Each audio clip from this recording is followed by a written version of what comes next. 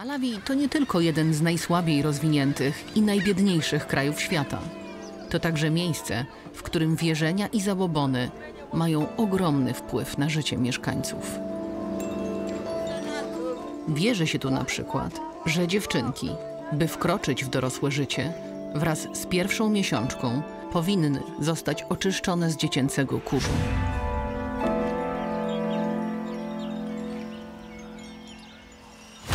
Kususa Fumbi. Tak nazywany jest rytuał zbiorowego gwałtu, który odbywa się pod okiem starszyzny.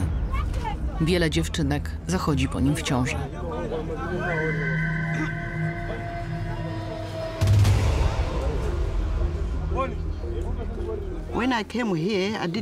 Nie miałam pojęcia, co tu się wyprawia. Byłam w szoku, ale wiedziałam, że tak na pewno nie może zostać. Byłam wykształcona, miałam wiedzę, mogłam zadziałać. Wódz Teresa w pierwszej kolejności zakazała odprawiania rytuału Kususa Fumbi. Później za cel obrała walkę z małżeństwami nieletnich. Ponad 40% dziewczynek w Malawi wydaje się za mąż przed ukończeniem 18 roku życia. Langa. Nazywam się Efero Kuzo. Gdy wychodziłam za 15, mąż, miałam 15 lat, a 16, kiedy rodziłam córkę. 16.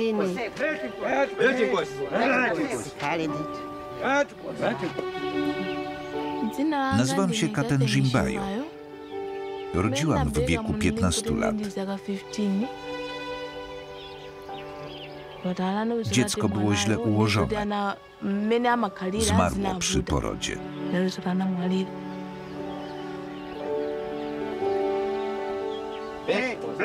Witaj, wodzu.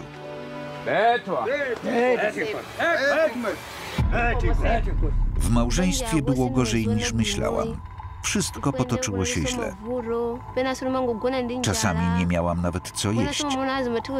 Mąż był alkoholikiem, bił mnie.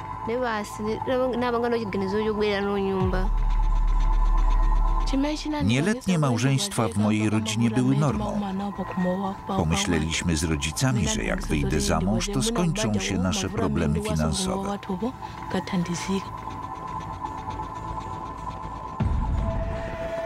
Mąż zapłacił za mnie kurczakiem.